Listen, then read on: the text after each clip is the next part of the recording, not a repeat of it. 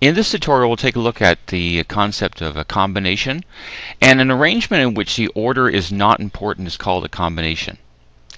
If you have the same objects and you switch the order around, like um, let's say the letters, you're using the letters A, B, and C. If you switch them around and say B, C, A, it's still the same combination. So if you have the same objects, just switching the order does not make a different combination.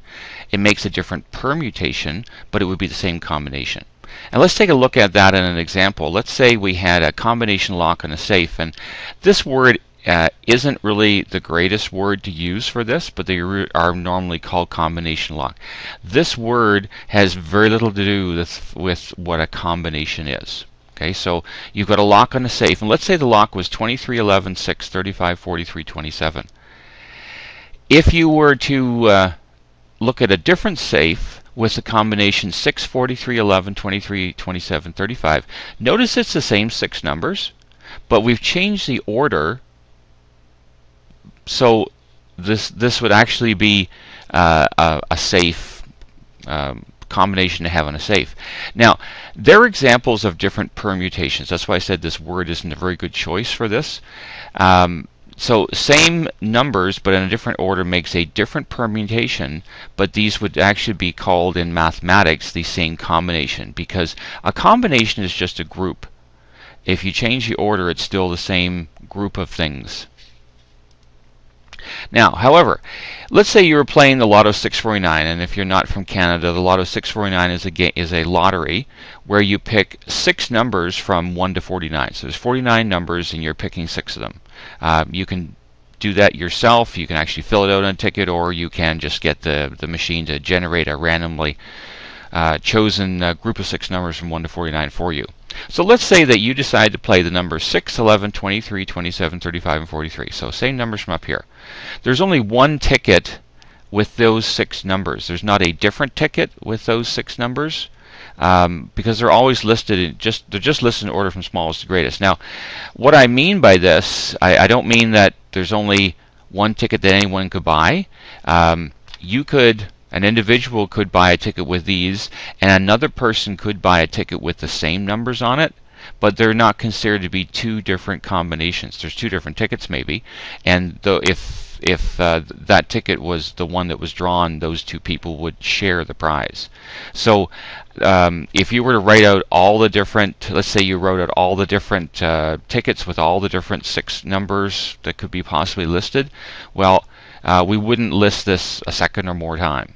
Okay, so there's only, that's what I mean by there's only one ticket, although two or three or four people could actually have a ticket with the same numbers on. That's possible. Now, so the example is how many Lotto 649 tickets are possible? If you were to buy them all, how many are there? Now, the permutation 49 permute 6 is this really big number, uh, 10 billion, 68 million, 347,520. Now, uh, that's not the answer. Okay, we're, we're going to use this to find the answer. Each set of six numbers, like the set from the last page, has been counted six factorial times because there's six factorial or six permute six, which is six factorial, uh, number of ways to select to arrange six objects in different orders. So while each group of six numbers should be only counted once, they're actually counted six factorial times too many. So in order to get the number of uh, uh, Lotto 649 tickets, we would take this 10 billion number and we would divide it by 6 factorial. 6 being, of course, the number of uh, numbers you're selecting here. And if we divide that out, you get a number a little under 14 million. There's 13,983,816 possible Lotto 6 different Lotto 649 tickets. I'll use the word unique. There's that many unique Lotto 649 tickets possible. So uh, here's a definition on this page. A combination of n different objects taken r at a time is a selection of r of the objects and it says without regard to order. Okay, so switching the order around does not make a different combination. That does, however, make a different permutation. Okay, permutations, uh, if you change the order with the same number of objects, you get a different permutation. And that is important in some problems. The total number of such combinations denoted, and there's actually several different uh, um, conventions here. Uh, one of them is uh, C and then bracket N comma R, close the bracket. So uh, this is the number of objects. This is the size of the group you're picking. Another common um, symbol is to write the N first and then the C and then the R. And uh, another one so here's a couple of different, so one way to write it, uh, or a, a, different than this, and you'll see this on uh, calculators sometimes, like this. And another way is actually, it kind of looks like a matrix. This is another uh, notation that's used sometimes too. So those are the uh, three most common ways to write combinations. Now, a combination of n objects taken r at a time, and this is a formula to calculate this using factorial notation, uh, is n factorial over r factorial and then n minus r factorial in the denominator. Kind of looks a lot like if you've seen the permutation one before. The only difference in the permutation one is it's just n factorial or over n minus r factorial. In the permutation one, there's no additional r factorial multiplied in the denominator where of course R has to be no, some number between 0 and n. Uh, your group, your group of course could be as little as 0, like picking no objects. There's only one way to do that, of course, uh, and it could be up to n. Uh, if you you could have uh, you know 49 objects and be selecting 49 at a time. The symbol uh, n choose r is often read n choose r, or a combination of n objects selected r at a time. That's a longer way to say it, but n choose r is a short way to write it, or read it. Okay, a few examples. A standard deck has 52 playing cards. So how many poker hands are possible? Poker hand is just five cards selected from the 52, so no restrictions whatsoever. So there would be 52 choose five, and this is a combination because uh, holding the same cards in a different order doesn't make a different poker hand. Okay, so uh, for example, if you had two twos and three kings, and this actually relates more to question B here, it would be the same hand as if you listed a king and then a two, and then another king, and then another two, and then a king, if you held it that way in your hand. Okay, that's going to be the same five cards, so uh, we wouldn't consider it to be a different hand. So 52 choose 5 is 2,598,960. So there's almost 2.6 million possible different unique poker hands. In B, it says how many full house poker hands possible.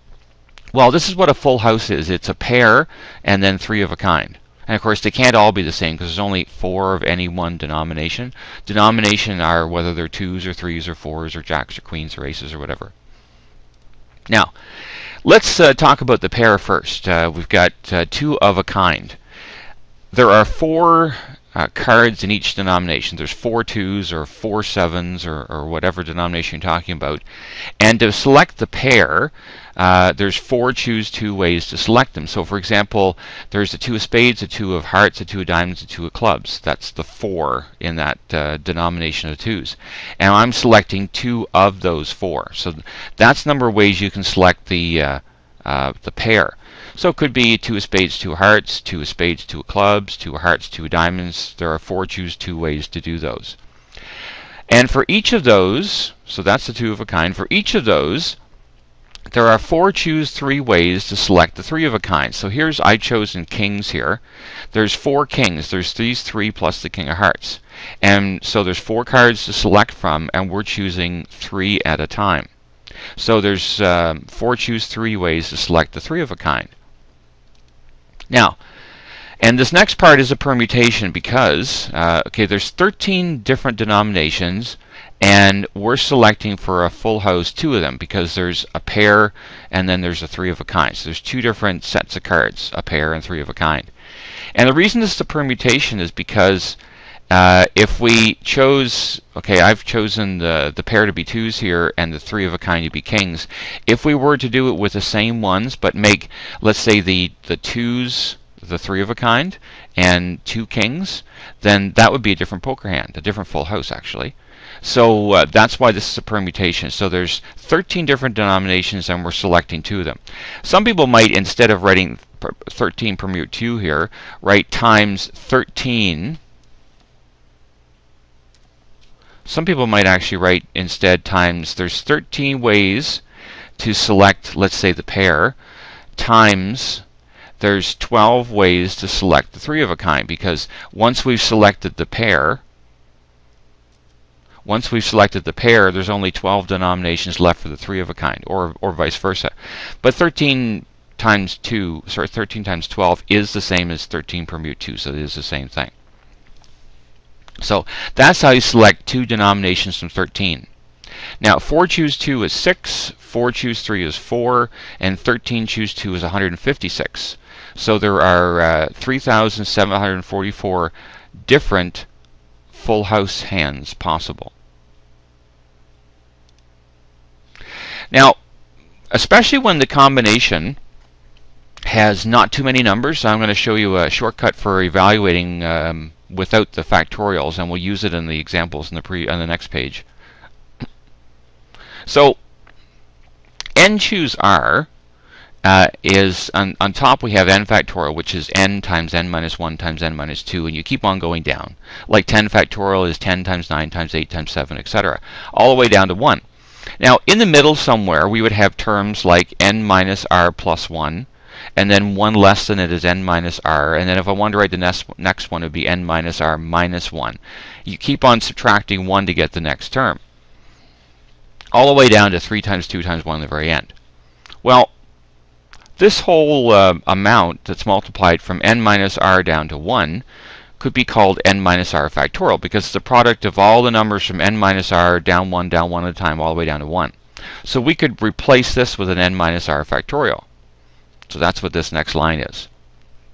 Now, notice that we have an n minus r factorial here in the numerator and an n minus r factorial in the denominator. So we could actually divide those out to, to simplify this expression. And so n choose r is actually equal to the product of the uh, numbers starting at n and then 1 less than n and then 1 less than that again, all the way down to, and the last product here is the difference between n and r plus 1. And then it's divided by r factorial, the uh, number on the end here. Now that may look like it's long and complicated, but you can actually use that, especially if the R isn't too big, if there aren't too many numbers in your, or the size of your group isn't too large, as a shortcut for evaluating a combination. The only difference in permutations, again, is that there's no R factorial. If this was a permutation of n objects taken R at a time, it would just be the product from n down to n minus R plus 1. Now, there are R terms here, R being the size of your group. So that's how many numbers we're actually multiplying here. So for example, let's say we were, and we'll do more of these in the next page. Uh, let's say we're evaluating the combination 12 choose 3. This 3 here means it's a group of 3. And so this formula means that the first number is 12, and then the next number is 11, and actually the next number is 10. That's the last one because there are supposed to be three numbers. So 12 times 11 times 10 over 3 factorial. Remember the denominator was the r factorial, the size of the group factorial. So 3 factorial is equal to 6. So I could actually, without a calculator, if you can do a little arithmetic in your head, you could divide the 6 into the 12 twice.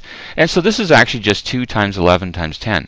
That's 22 times 10 would be 220. So 12 choose 3 is 220. So it's it's a it's a way to, to evaluate that without the factorials. So, uh, example number three. Now, 8 choose 0 means we have 8 objects and we're selecting none of them. Okay, so there's only one way you can do that. Any number choose 0 is always equal to 1 because there's only one way you can not select any of the objects. So n choose 1 is always equal to 1.